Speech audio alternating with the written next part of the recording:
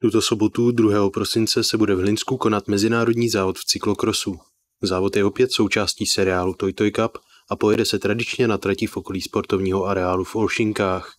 Přijet by měla téměř kompletní česká špička, včetně úřadujícího mistra České republiky Michaela Boroše.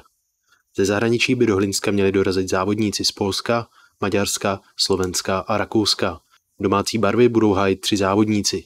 Mezi staršími žákyněmi Viktorie Nováková a v elitní kategorii mužů Vojtěch Vodrážka a Ondřej Louvar. Zveme všechny fanoušky cyklokrosu do parku v Olšinkách a přilehlé okolí zimního stadionu. Závody začínají v 9 hodin 10 minut startem mládežnických kategorií a start hlavního závodu mužů elít a kategorie do 23 let odstartuje ve 14.30.